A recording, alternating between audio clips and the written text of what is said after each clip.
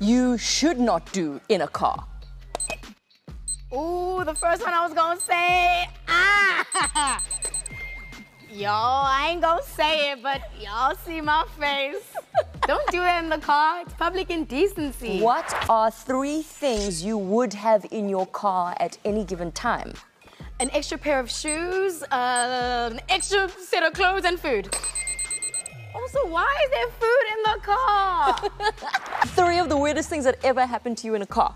Uh, my friend vomiting in the car. my friend also known as me. Anyway.